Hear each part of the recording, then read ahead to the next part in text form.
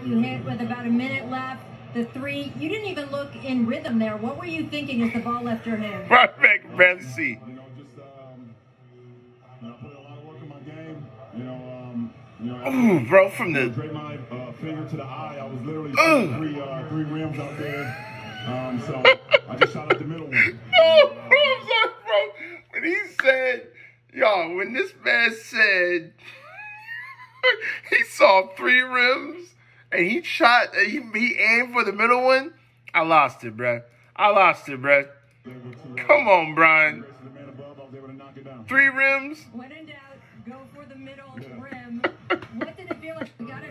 I can't, bro. With about a minute left. I can't, y'all. You didn't even look I love it. I love it. This is this is when basketball starts to get good. I'm not gonna lie to y'all. The play-in is fire, bruh. I man, the both games, bro. Both games were lit, bruh. And we got uh Warriors played Memphis. That one's gonna be even crazy, bro. That's gonna be crazy. We're gonna take that one. I got my money on Golden State. I got my money on Golden State, bro. And I'm not gonna lie to y'all, bro.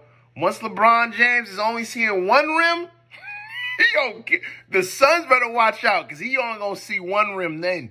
He ain't gonna see three, but he's gonna see one. And it's gonna be easier. It'll be a lot easier and better shoot that shot. Alright.